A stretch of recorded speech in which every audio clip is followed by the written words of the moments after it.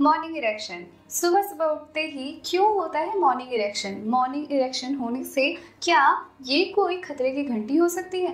क्या morning erection आपको पिता ना बनने की क्षमता के बारे में बताता है? बहुत सारी चीज़ें हैं, बहुत सारी कन्फ्यूजन्स है। इसी सवालों के साथ ये वीडियो है। हेलो दोस्तों, मैं हूँ डॉक्टर आरोही और आज की इस वीडियो में हम बात करने वाले हैं मॉर्निंग इरेक्शन के बारे में। चलिए जानते हैं कि क्यों हो रहा है मॉर्निंग इरेक्शन वैसे तो मॉर्निंग इरेक्शन सात से पचास साल तक की एज तक होता है। जब आप बहुत छोटे होते हो, यानी कि सात से दस साल की एज में ही शुरू हो जाती है मॉर्निंग इरेक्शन इसके बाद ये धीरे धीरे बढ़ती जाती है। जब आप किशोरावस्था यानी कि टीन एज में होते हो, तब तो बहुत ज़्यादा इसका इफ़ेक्ट देखने को मिलता है। उसी के साथ एडल्ट स्टेज में तो काफ़ी लोग इससे परेशान भी रहते हैं।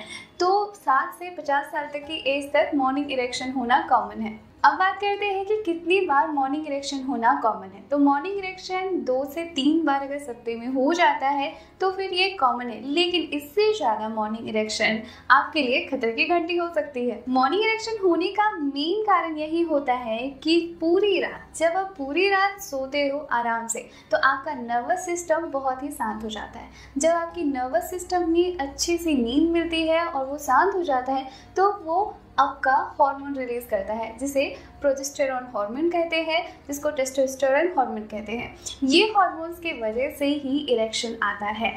सारा खेल आपके नर्वस सिस्टम का है। जैसे ही माइंड में तनाव कम हो जाता है, वैसे ही इरेक्शन यानी कि लिंग में तनाव आ जाता है। तो यही है मेन रीज़न मॉर्निंग इरेक्शन होना आपके लिए गुड न्यूज़ भी है, क्योंकि ये आपकी हेल्दी बॉडी का एक साइन दिखाता है कि आपकी लाइफ काफ़ी हेल्दी है।